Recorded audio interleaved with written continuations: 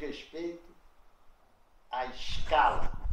Estão aumentando. Quando aumentar, danou. Perdemos de vez. Como é que é a história de escala? Você conhece Nova York?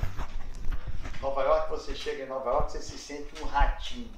Aqueles prédios que te esmagam. Em Búzios, você se sente bem.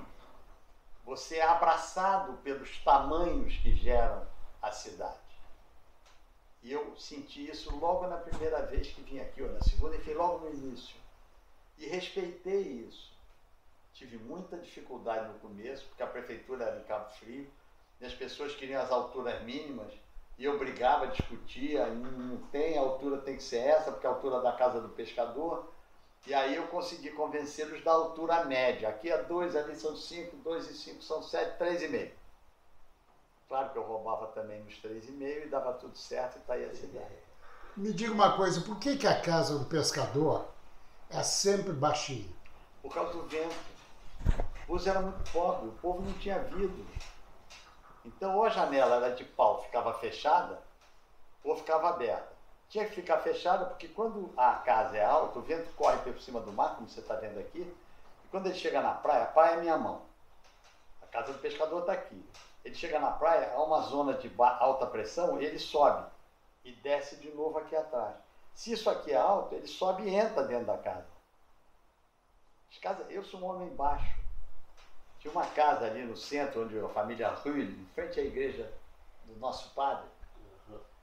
Ele, para eu entrar na varanda, a varanda tinha um pau-ferro, eu acho que tamanho até aquela parede lá. Uma peça só, cortada no machado ou na enxota, toda torta, toda pau-ferro. Baixinha começava aqui e ia embora. Eu para entrar tinha que fazer assim, baixinho que sou. Como é que é? Também ele sofreu o vento nordeste na cara. Aquela casa eu chamava de máquina do tempo. Quando eu entrava nela, eu voltava para minha infância. E como é que você criou esse estilo Búzios? Eu não criei. Eu sintetizei o que encontrei do pescador, gerando ah, dimensões materiais que atendessem à expectativa dos novos construtores, pessoas com mais dinheiro, com mais conhecimento. Você não quereria jamais que aqui tivesse madeira e uma janelinha. Você precisava do vão aberto para usufruir dessa vista.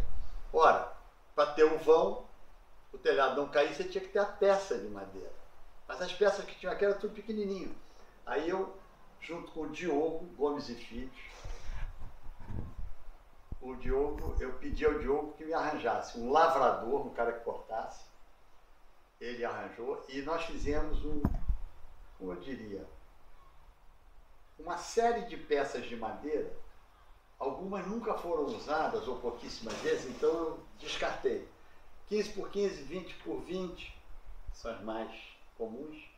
20 por 30, 20 por 40 já é uma peça que, que é um cavalo de peça. Né?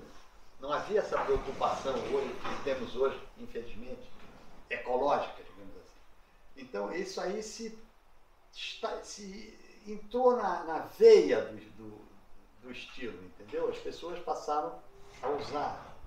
Éramos muito poucos arquitetos, hoje deve ter uns 50 militando. Eles têm que agradecer isso aos pioneiros, não é a mim, Hans, eu, o Sampaio, o Sampaio, por aí vai. Como é que o Hans, o austríaco, se adaptou, se adaptou. ao estilo blues? Se adaptou. E todo mundo tem uma marca que é, é inerente à sua visão daquilo.